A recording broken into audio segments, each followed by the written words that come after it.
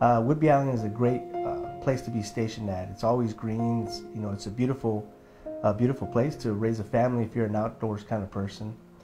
Um, I had just gotten back from a deployment with VAQ 140, and we were trying to get back in the swing of things. Uh, uh, trying to get back integrated with the family. You know, the family had been uh, living without you for the past seven, eight months, and you know, we're trying to all bond together. You know, it's like I'm a new person in the house. Uh, Mandy was a special girl. she was my blonde, as we called her, and um, her hobbies were guitar. Um, she loved children. She loved to babysit but mainly it was um, just an outdoor girl. She liked to be outdoors, ride her bike. It was great, you know, it's typical, you know, family bonding. Just one day, um, woke up, you know, Saturday morning, typical Saturday morning. Uh, went downstairs, kind of hanging around, you know, enjoying the time off. Uh, my daughter comes down, my youngest daughter at the time, you know, and tells me, Daddy, where's Mandy? Well, you know, I grab my daughter and we go upstairs and, you know, I open the door. She's not in the room. You know, open my other daughter's bedroom, see if she's in there. You know, maybe she slept over, you know, with my other daughter. Nope, she was by herself. So I'm like, okay. There was a park close by, so, um, you know, yelling her name, see if she's anywhere, nothing.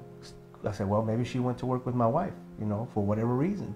So I call, you know, my wife, say, hey, is uh, Mandy there with you? my wife is like, no, why, why would she be with me? I'm like, I don't know. Well, you know, she's not here, and I thought maybe she, you know, went to go to work with you. She's like, no. Uh, maybe search for another five, ten minutes. Kind of went outside, you know, kind of yelling for Mandy. You know, Mandy, where are you? So I start calling her friends. At this point, when I get this young man's name, um, I call him. So I'm talking to the young man. You know, the man was respectful and everything. I tell him, hey, have you seen my daughter? you know, Amanda. The kid was like, yes, sir, I did. I said, when did you meet her? She goes, I met her last night around midnight. I'm like, around midnight? She goes, yes, sir, you know. Uh, we were there to talk and we talked for a little bit, you know, and then she left. And I'm like, okay, do you know where she went after that? She goes, no, sir. And then I told him, okay. I said, at this point, I said, you're the last one to see my daughter, so you need to stay home uh, because I'm gonna call the police because they need to come talk to you. Uh, by the time the police have spoken to this young man, he had changed his story about five times in the first hour. We searched for 68 days. Um, to me, it was days. I had to take it day by day by day. It was sometimes minute by minute, but mainly day by day is what we what I took it.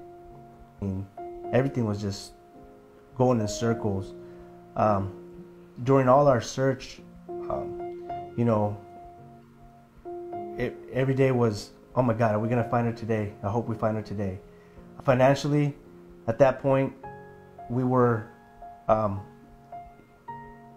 we weren't even paying our bills because, uh, you know, we were buying flyers by the by the hundreds.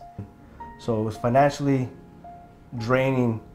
At the same time, like I said, for me, I was enduring both the emotional, emotional and financial uh, heartache of it. You know, and I didn't want to tell the wife or the kids or anybody because, like I said, I already knew they were going through a hard time as well.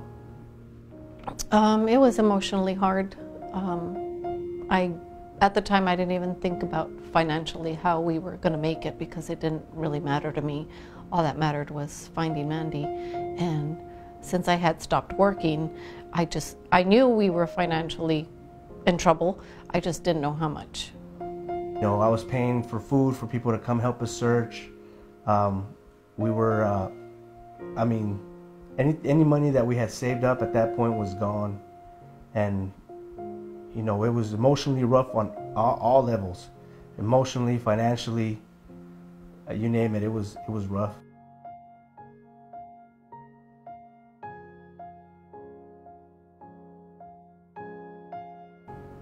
we were getting ready to do a major search. We had contacted a couple of uh, foundations that help, uh, you know, help search for kids. Uh, the Klass Kid Foundation and the uh, Laura Recovery Center. uh, they came into town to help us, you know, complete a major search. Um, we had planned it, you know, we've been on, you know, planning it for maybe two or three days. Uh, and the whole town was going to get involved. The, new, the news was in town. Everybody was okay. We're going to do a big search of the island.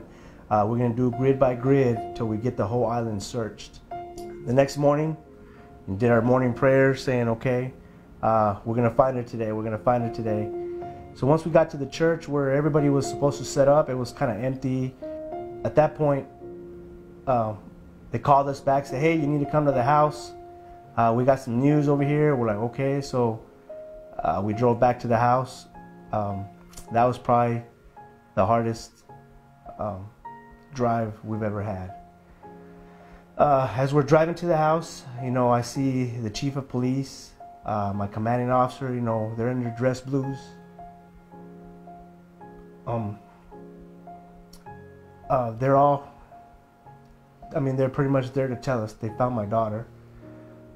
Walk inside, they tell us what happened you know, and that's when we lost it, you know, because it wasn't the ending that we wanted.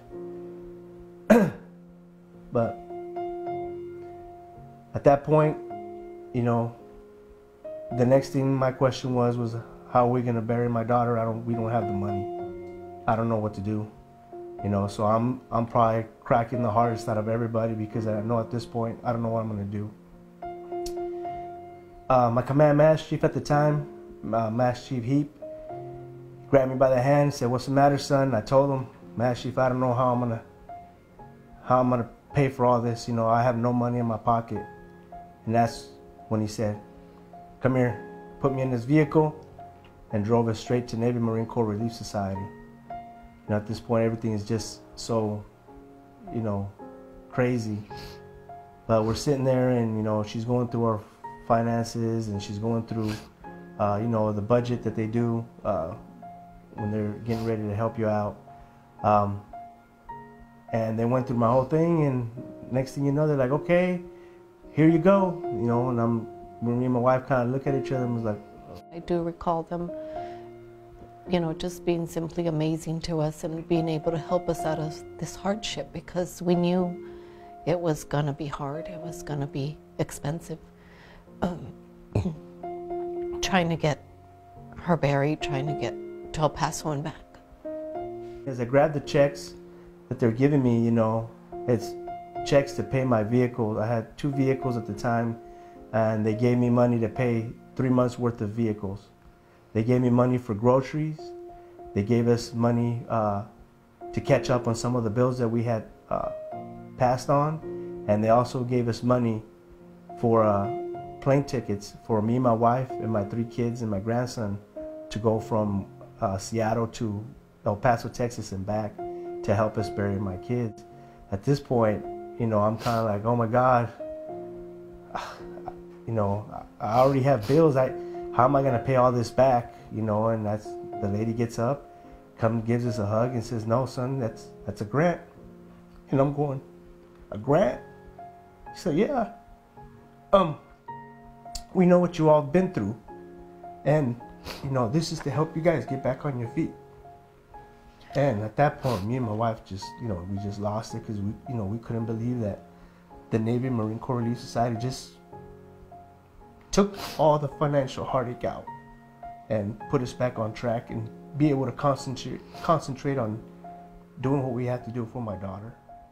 Sailors should, should support Navy Marine Corps Relief Society because they're there when you don't think you're going to need them you don't ever want to need them. I didn't want to need them, but they were there for me when I did.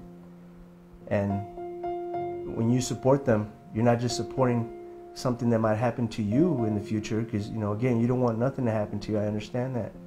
But you want to make sure that you can help a shipmate out. And for me, it's like a million thank yous that I have to send out because of the sailors and shipmates that were out there at the time that helped donate at that point helped me in my time of need. Navy Relief is there to help sailors and like he says, you hopefully might not want to need them for anything, but if you do, you, you want to have that confidence knowing that somebody gave to this great organization so they can help you out.